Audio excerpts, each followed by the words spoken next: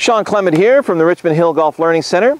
I got a nice little treat for you. I have a lot of my students that have been going to Scotland and Ireland this summer, enjoying some amazing golf out there. And to get them prepared to face those kinds of elements, we work on the stinger shot. Now, this little low stinger with the three iron, uh, you want to have a long iron in the bag. Definitely want to bring the long irons out there. You, you, you know, the, the hybrids just put the ball up a little too high. If you do have a hybrid, make sure it's a very low lofted hybrid. You're going to need it, okay? So this uh, particular setup right here, I'm on the, the forward tee on 18. This has exactly the same setup as the Sherwood Country Club where Tiger was hitting those low stinger irons when he won uh, last uh, November, okay? So I'm going to hit a low stinger up the hill and then and at Sherwood it comes back down the hill on the other side and the fairway kind of rolls to the right. I'm going to hit a nice little low draw up that slope and around back towards that 150 marker.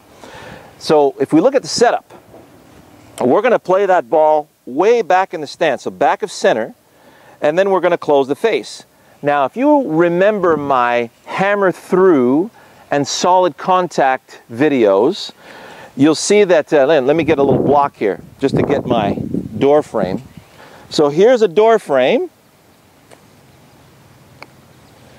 And I'm, what I'm trying to do is I'm going to use the weight of my arm hammer unit to squeeze this ball into the door frame. So I play the ball back in the door frame, close the face. Notice how my head's behind the ball and my weight is more predominantly on my left side. So if I had a sledgehammer here, see how I'm squeezing that ball straight in? Now notice the lack of loft. Doesn't that look like there's, there's zero loft involved? Well, this is what you don't get about the long irons as long as the ball gets this high off the ground with some compression, then the dimples on the ball create that turbulence and makes the ball rise. So it's virtually impossible to duff this shot if you're squeezing that ball into that door frame.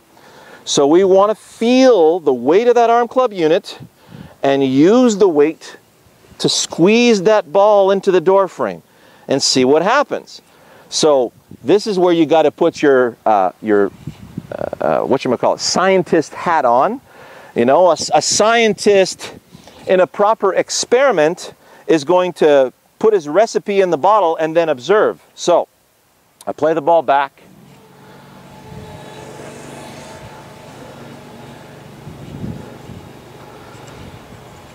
There's my spot. I'll play the ball back of center. There's center of my stance.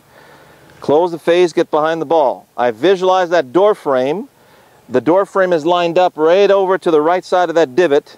I'm going to use the weight of that arm club unit to squeeze that ball into the door frame. Feel that weight?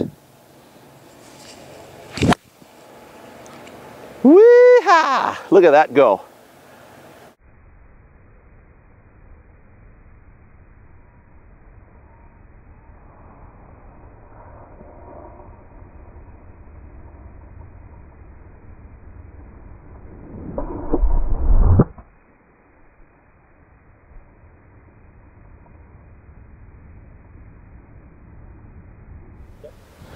So what you just saw was the club, uh, the hands come through first, see the angle of the shaft?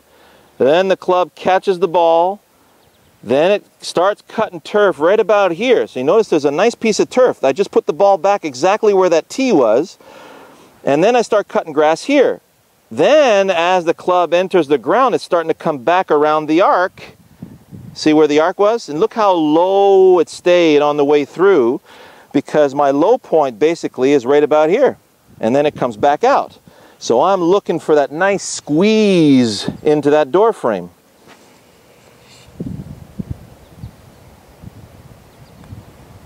That's what it looks like. Okay? So I'm feeling that weight, using that weight to pin that ball into the door frame just to the right of that divot. Here we go.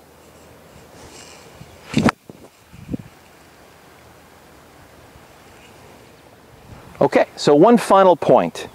I'm going to show you three different versions. High draw, medium draw, and that low stinger draw which you just saw. from the front here. So if I'm going high draw, it's okay to play the ball a little more forward in your stance with the long irons when you want to hit that high draw. Up till about six or even seven iron, when you really want to hit that high floating draw, land it nice and soft on the green. Because if you look at my throwing the club video, we talk about we want to throw it high for a high shot, and we're throwing it low for a low shot. Now, if I, if I got the ball back in my stance, and I'm trying to throw this high, well, that's not going to work. I feel the need to reach back to throw it high. And that's why a lot of you have a tendency to go back on that back foot. So for my normal draw, I'm playing the ball just a hair back of center, but I'm also getting behind the ball. So you notice I still have a nice level of tilt. So this is going to have a nice height to it. If I want to catch it a little bit lower like that stinger, I play it a little further back. Get, I won't get behind it as much. I'm going to stay right here in front, but just bring the head back and really feel that I'm squeezing it straight into the door frame. That's the flight that you just saw. Now if I'm hitting the ball very high with the draw, now I'm going to play the ball a little forward to center. And now I can feel that I can really throw it high because I got extra tilt. My release is a lot deeper out here. So playing the ball more forward works very well for that. So if you play the ball forward to center you're either thinking fade or you're thinking very high draw. Okay? So I hope that helped